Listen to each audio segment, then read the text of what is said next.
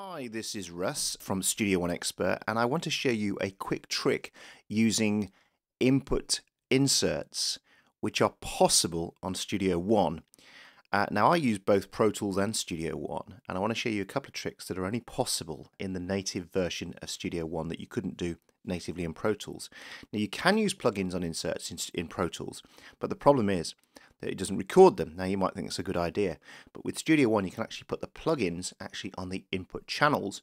Now that has a number of advantages and if you read the whole article that I've written to go with this video then you'll see what those uh, advantages are. I just want to do a very quick video to show you what I've done to set this up. So now I have one input going to three different record channels and if I just quickly come here and go to the I.O. setup you can see that input 9, 10 and 11 are all coming from my guitar input on my Apogee Ensemble interface.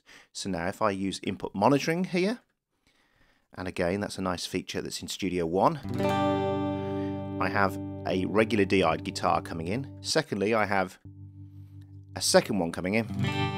Going through Ampire, you can see it there. And then I've got a third one coming in, which is going through channel strip. And what channel strip is doing here, if I open that, I've pulled the gain down by 6 dB. If you look, the input to this channel is quieter than that channel. Now the great thing is as well with input monitoring is I can record all the channels but I can then only monitor once. If I just want to monitor the actual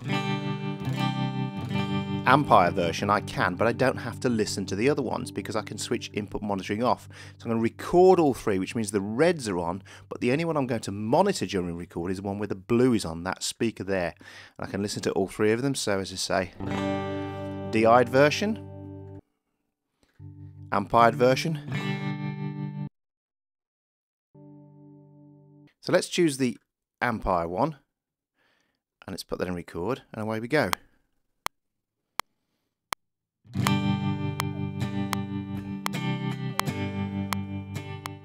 So I've got those recorded now and we can listen to them. Let's have a listen back. Here's the first one. Let's solo it.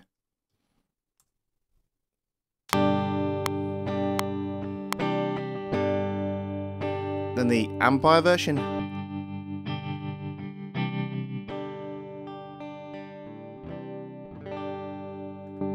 So the combination of having input monitoring and the and the ability to be able to put plugins on as you record is a really cool feature. Now if you're an Apollo user and a UAD Apollo, then this feature is already possible. Thanks for watching and I'll see you again soon.